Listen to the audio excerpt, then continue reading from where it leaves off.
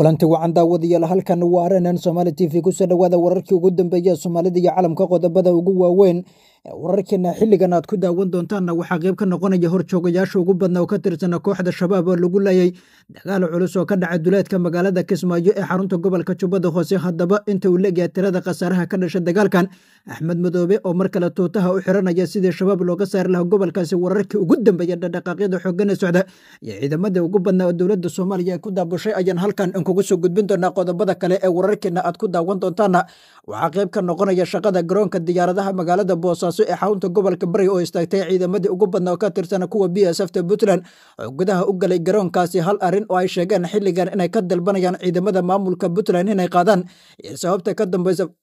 fashilka siciid cabdulaahi deni dhaqaaqyada socda halkan ayaan inkugu soo gudbin doonaa qodobada kale ee wararkeena aad ku daawan doontaana waxaa qayb ka noqonaya ra'iisul wasaare xamse cabdi barre oo qaaday tillaabo culus. Haddaba dhaqaaqyada siyaasadeed ee ka socda magaalada muqdisho qorshaha looga hadlayo wax ka qabashada muranka siyaasadeed ee ka dhex taagan villa soomaaliya iyo madaxda maamul goboleeda dalka halkan. Ayaan inkugu soo gudbin doonaa muuqaalkan hadduu ku soo gaara sii sheergare nagu soo bir qayb ka noqo saaxiibada nagu xiran ee mar walba hela xogaha iyo macluumaadka xasaasiga halkan aan soo gelino wixii aragtadana qaybta hoose ee faallada ee janalkeenna ayaan idiin soo gelin doonaa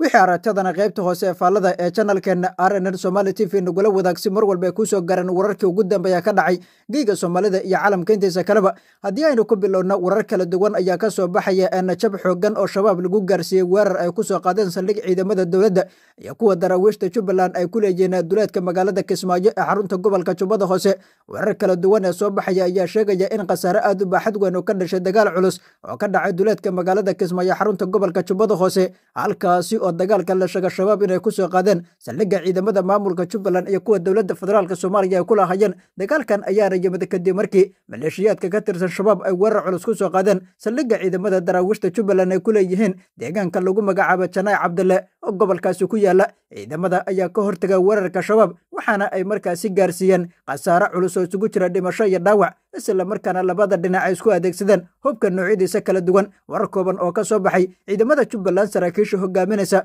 ayaa lagu sheegay in la fashiliyey weerarka shabaab oo markaasi ee ujeeddadooda u ahaa in lagu beegsado. Markaasi ciidamada deegaanka janaay cabdilla ku sugnaa isla markaana khasaare xoogan ay kala kulmeen ciidamada daraawiishta jubbaland gaar ahaan guutada labaad ee ka howlgasha eena deegaanka janaay cabdille ee gobolka jubbada hoose ayaa fashiliyey weerar fulinimo oo shabaab ay ku doonayeen inay ku soo bartilmaameedsadaan saldhigyada ay ku lahaayeen balse xogo hoose oo ciidamada ay heleen ayaa suurtogeliya weerarkan in la fashiliyo ayaa lagu yiri hadalka ka soo baxay saraakiisha hogaaminaysa howlgalkan. Sidoo kale eena qoraalka ayaa lagu sheegay in lagu dilay ugu yaraan shan xubnood oo ka tirsana maleeshiyaadka weerarka soo qaaday ayadoo tiro kale oo dhaawacyo ay jiraan waxayna sheegeen kooxdu in goobihii weerarka ka dhacay ay kaga carareen markaasi meydadka iyo sidoo kale dhaawacyada xubno ka tirsana oo ciidamada dowladda ay markaasi sheegeen in dagaal toosa ay la galeen maleeshiyaadka weerarka fuliyey ayaa waxay soo qaadeen markaasi tilaabo kale ay ku doonayaan in mar kale ay saldhigga ku qabsadaan balse ciidamada dowladda iyo kuwa jubbaland oo iskaashanaya ayaa si toosa uga hortegay waxaana suurto gashay weerarkan in la fashiliyo ayaa sidoo kale lagu sheegay hadalkan. Horey sidan oo kale ana shabaaba ayaa lagu jabiyey weerar ay ku soo qaadeen buulo xaaji waxaana kadib madaxweynaha jubbaland oo amaal mariyey ciidamadii ka hortagga ku sameeya weerarkii ay shabaab ku soo qaadeen deegaankan. Kadib markii ay jilibka u dhigteen maleeshiyaadka weerarka soo qaaday boqolaal xubnood oo ka tirsana kooxdana halkaasi la sheegay in lagu dilay madaxweynaha jubbaland. Ayaa sidoo kale la sheegay dhowaan inuu booqan doono furimaha dagaalka ee gobolka jubbada hoose gaar ahaan deegaanka weerarkan uu ka dhacay iyo goobihii kale ciidamada ay ku sugnaayeen. Si markaasi loo qaado howlgalka islamarkaana uu ciidamada markaasi kagala hadlo qaabkii ammaanka deegaanada lagu sii xojin laha gobolka jubbada hoose ayaa dhadhaqaaqyada ka socda. Waxay u muuqdaan inayan kuwa marba marka ka dambeysa sii xoogaysanaya islamarkaana xilligan garay halkii ugu sarraysay ayadoo isbedelo dhinacyo kala duwan leh ay samaynayaan sidoo kalena ay sheegeen inay qaadayaan tillaabooyin kala duwan oo dhiraada kuwaas ay ugu talagaleen inay ku guulaystaan islamarkaana ay diiradda ku saran qorshaha dadaaladooda iyo sidoo kale qaadashada go'aanada loogu talagelay si wada jira dhinacyadan arrintooda inay kaga miradhaliyaan ujeedooyinka loogu talagelay in lagu guulaysto iyo sidoo kale markaasi qorshaha dadaalada ciidamada jubbaland ay ku bixinayaan sidai howlgalkan inay kaga miradhalin lahayeen ayaa kuwa marba marka ka dambeysa sii xoogaysanaya islamarkaana xilligan garay halkii ugu sarraysay lama oga maamulka axmed madoobe qorshaha kale ee kaga degsan dagaalkan balse xilligan waxaa muuqata isbedelo dhinacyo kala duwan leh inay samaynayaan kuwaasi oo diiradda lagu saaraya si wada jira inay kaga miradhaliyaan arrintooda.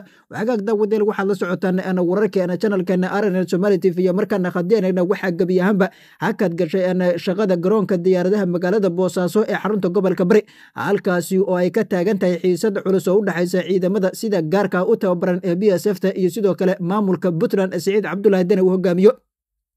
labada dhinac ayaa isku qabtay isticmaalka garoonka diyaaradaha boosaaso kadib markii b s f ta ay sheegtay in markaasi laga hor istaagay in askar dhaawacyaha ay markaasi ka dhoofisaan garoonkaasi. Sidoo kalena xaaladdu isbedeshay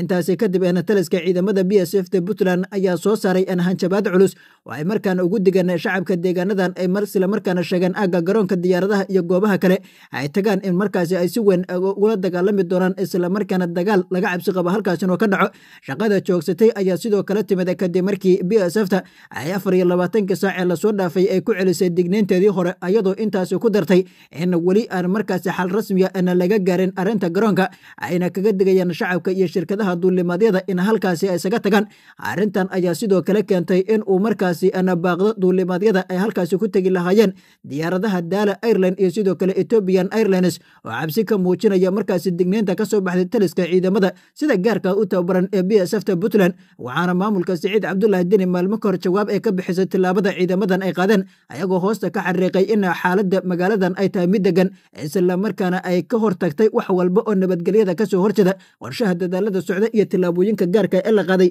ayaana kuwa marba marka ka dambeysa sii xoogaysanaya islamarkaana xilligan garay. Halkii ugu sarraysay iyadoo dadaalo dhinacyo kala duwan la ay samaynayaan waxaan rabnaa in shacabka magaalada boosaaso ay ogaadaan inaysan jirin wax nabadgelyo xumaa waxaana uga digaynaa cid walba oo ka shaqaysa nabadgelyo la'aanta. In tillaabo aan ka qaadi doona ayuu sheegay gudoomiyaha gobolka bari balse hadalka gudoomiyahan ayaa u muuqday inuu yahay mid waxba kama jiraan oo shacabka lagu marin habaabinayo. Kadib markii xaaladda amni darre ee ka taagan boosaaso ay suurtogeli weysay in diyaaradaha halkaas ay ka degaan sidoo kalena shacabka ay guryahooda ka soo bixi waayaan ayadoo cabsi laga qabo weerar toos inay qaadi karaan ciidamada sida gaarka u tababaran. Ee b s f ta dowlad goboleedka puntland dhaqaaqyada xoogan ee xilligan socda iyo qorshaha saraakiisha ciidamadan ay hogaaminayaan ay dabada ka riixayaan ayaana lagu tilmaamay inuu yahay mid ay doonayaan inay si toosa garoonkan ugula wareegaan dhowaana hanjabaadda ay soo shaareen ay ku sheegeen in garoonka boosaaso xarun milatari ay u bedeli doonaan ayagoo sheegay si qasab inay wax ugala soo degi doonaan isla markaana ciidamo dhaawacyaa oo loo diiday garoonka inay ka dhoofiyaan ay markaasi dhoofsan doonaan ayna sidoo kale sii wadi doonaan qorshahooda ku aadan. Howlgelinta xarumaha kala duwan ee ka xiran ciidamadan ayaa u muuqda inayan kuwo ay si gaara u taakulanayaan xubnaha siyaasiyiinta mucaaradka ee deegaanada puntland ka soo jeeda kuwaasoo arrinta siciid cabdulahi dene ku xumaynaya sidoo kale dowladda soomaaliya oo dhowaan la sheegay inay xil u magacaabaydo asad diyaano oo ka mid a siyaasiyiinta deegaanadan ka soo jeeda ciidamadana sida gaarka ay u taageerseen arrintan uu ku lug leeyahay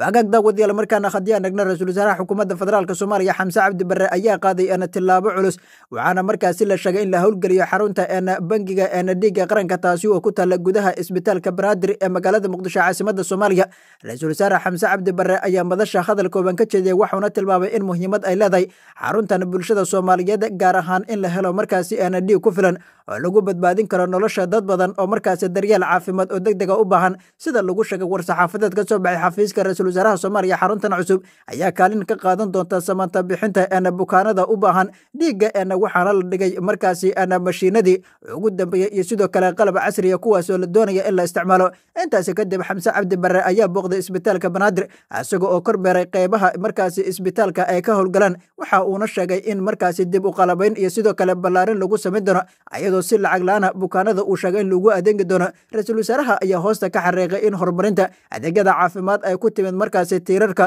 ugu muhiimsan ee qorshaha xukuumaddiisa isaga oo markaasi sheegay in ay arrinta ugu badan ay tahay in lala tacaalo cid walba oo markaasi dhibaato caafimaad markaasi ay wajahayso dowladda federaalk soomaaliyana ayaa